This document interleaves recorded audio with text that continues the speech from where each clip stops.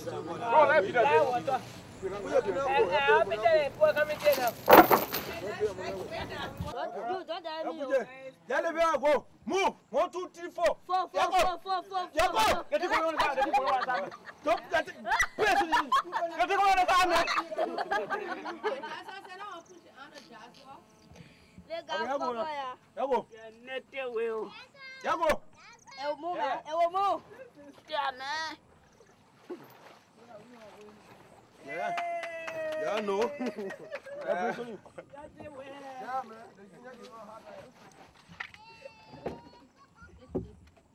My love. We are lost. Mas esse meu próprio junto aqui nesse. É que eu estou muito sabe. Ah, já só para. Ele quer pipi? Não. Não vai dar pipi sabe, né? É. Oh, mano. Uh. Um. I'm Christian WP Body. I live in Owens Grove, just across there, and we are on the Farmington River. And right here is the backside of the Firestone Plantation Company. And like you just saw there, we just passed one of the major outlets that Firestone is using to pollute this river. If you had come earlier, or when you come here earlier when the factory is busy and everybody's at work, you see the pieces, the lumps of rubber coming out there. And it comes straight into this water and has damaged, the pollution here has damaged the total marine life here. All of the features, all of those features we had along the water bank here are moved off the shore here because they can no longer make it here.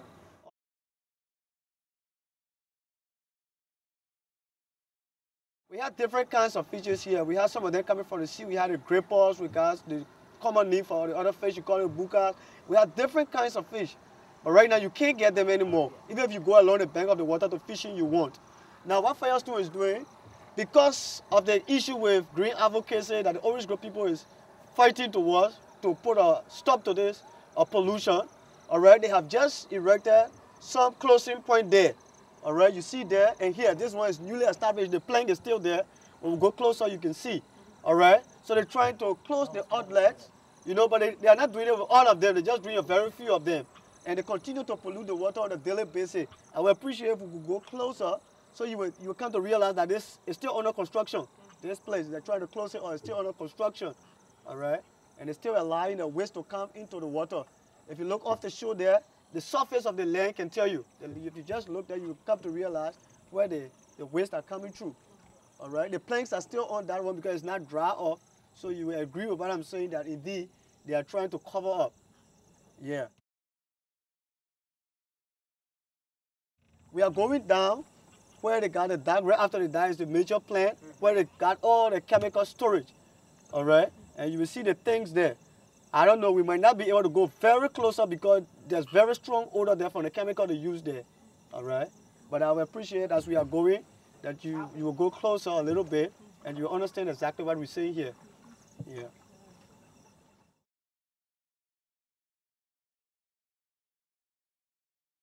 Across there, all of our wells connected along the river banks, we can no longer use them.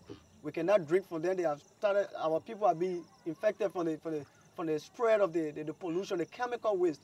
They use folic acid, they use uh, formaldehyde, different kind of uh, uh, sulfuric acid and all of that, and they are spread across there. Crops don't normally grow across there anymore. No way.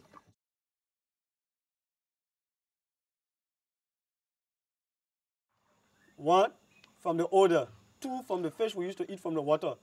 We started eating the fish and we discovered a lot of people suffering from running stomach, cholera. Some of the children rashes coming out on the body. We got our brother here who is swelling up because he used to fish along the water. Yeah. We got different, we got, we got some of the children here now, they almost go home crippled. Yeah. We can no longer drink the water. And the water water that we used to drink. When we, when we, when we on the water, we used to dip it, drink it, and life was normal. But because of the continual pollution, now the water has lost its taste and is detrimental for drinking. Yeah.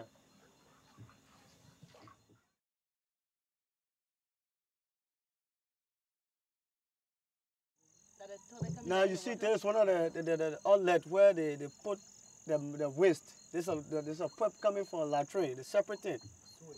Yeah, switch. It runs switch into, the water. Right into the water. Yeah.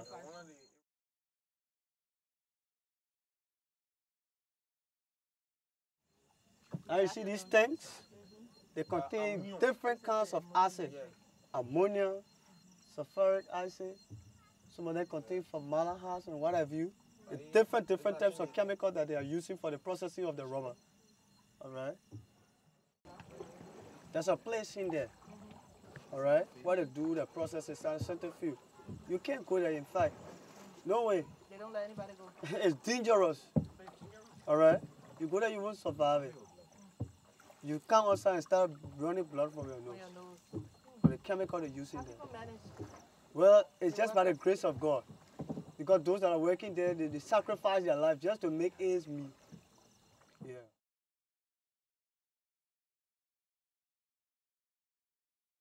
We've cried so many times, but our cry landed on deaf ears. We cried, we asked Firestone One to put a stop to what we're doing, to compensate our teachers, to help extend our clinic to at least a community clinic level where we can be able to battle over some of the, the- the diseases that people get from this water and the pollution they are causing, and everything land on deaf ear. No good result. And this process been on before I was born. And we met it and joined a team and continued to campaign for relief. And up to now, nothing. No, no, no benefit. Nothing. They continue to pollute the water, continue to damage the lives of our people. Our, our, our, our farming life is gone down now because the entire uh, landscape here is being damaged. Alright, we can't grow here. Even our livestock, they, they, we can keep them close here. Those who manage to still raise, uh, you know, do cattle raising, we have to move them far up because when they come across the water and drink from it, they die. Yeah.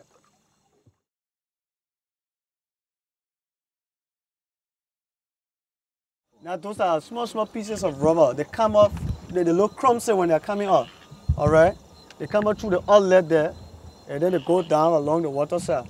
And those small, small pieces of rubber you see going, those crumbs of water that looks like foam. They all carry different kinds of uh, chemical.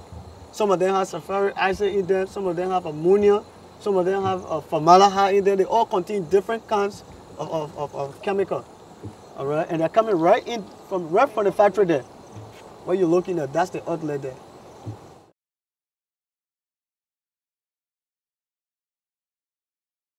Okay, you see the guys in there. There they are washing the rubber. Okay, taking all the dirt from there. And the water you see there comes through there in the storage tank here. And then it goes right into the Farmington River where they waste it. Alright? So all of the, because the rubber that some of them are already been first-hand processed.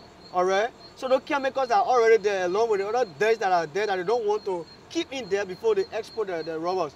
Alright? They wash it there before packing it in the, the, the, the crates there. Alright? And then the water from there come right here and then they dump that into the Farmington River. Yeah.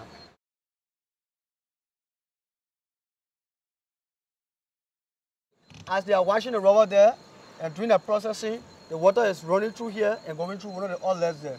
The same applied to the end when we went down there. Yeah.